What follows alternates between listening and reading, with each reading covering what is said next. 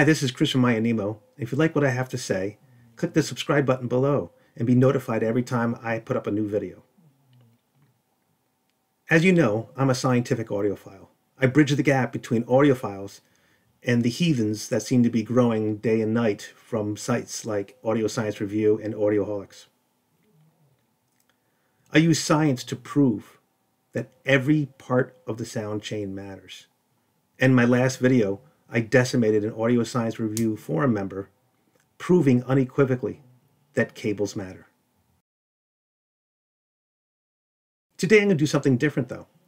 I'm going to bring together the non believers with the audiophiles and by giving both of you a tweak that will reveal better sound that no one can argue with.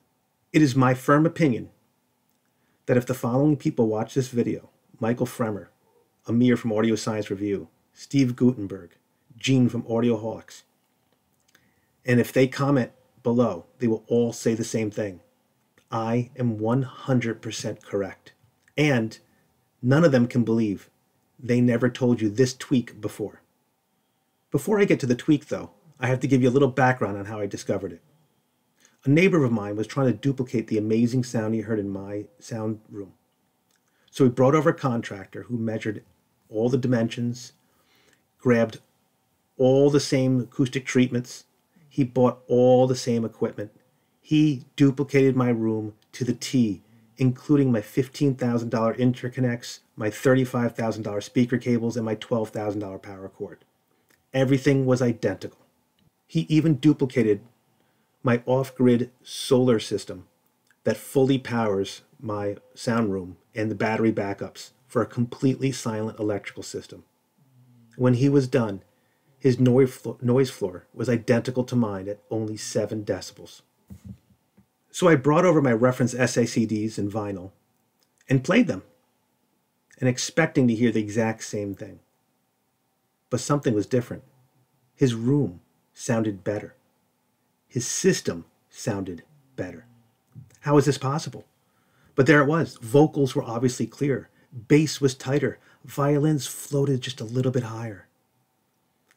Everything about his musical sound system was just a little bit better than mine we were perplexed. He came over to my place and we played the same tracks. And there it was. You could hear his sound in his room was better. We had actually dropped sound quality by coming to my room. We went over the entire room. We looked at everything. Even his cables were the exact same height as mine because he was using the same cable lifters as mine. There was nothing different. The same drywall. Everything was to a T identical, even the same paint. There was nothing different between our two rooms.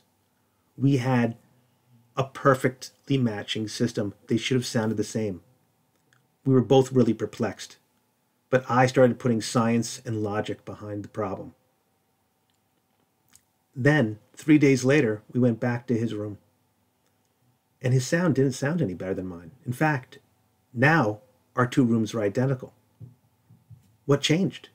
We couldn't figure it out. It wasn't the break in period.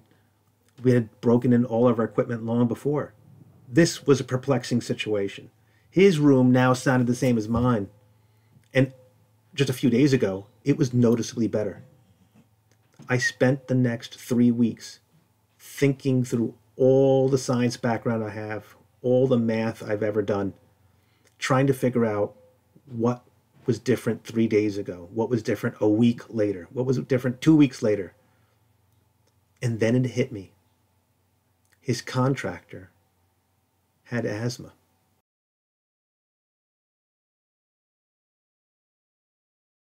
So I tested my hypothesis, brought him over, and had him listen to my room. As soon as I put on the first track, he said, You got it, but better. And yes, I did get it, and I did it for under a thousand dollars. But how is this possible? He asked me. How can my room now sound better than his, and better than it was even a few weeks earlier? And I told him the same thing I just told you. Your contractor had asthma. And he looked at me as perplexed as you're probably looking at this video right now. What does asthma have to do with sound quality? So here's where the science comes in. What is sound? Sound is vibrations that move through the air. The contractor had asthma, and he used an air purifier while he was working. When he left, the air was still mostly clean, and we could hear that difference in the sound. So, of course, my friend said to me, How is it possible that my sound sounds better than his did a few weeks ago? And that one is pretty simple, and any audiophile figured this out in a few seconds. The contractor was worried about large particles that would get into his lungs. I was worried about the slightest air dust particles that would affect the sound throughout the entire room. So instead of buying some cheap $150 HEPA filter, I ended up picking up a USA ceiling HEPA filter from Amazon for about $650. And this tweak is something that even Amir, Gene, Guttenberg, and Fremer can all agree on. Sound moves through the air. And if you don't have the cleanest possible air, you can't have the best possible sound. Every particle of dust is affecting that sound by changing the way sound moves through the air as a medium until it reaches your ear. So, this is my contribution to unite audiophiles with the non believers. There's no arguing the sound difference, and there's no arguing the science and logic behind it. So, thank you for watching. Make this tweak and come back for the next scientific audiophile.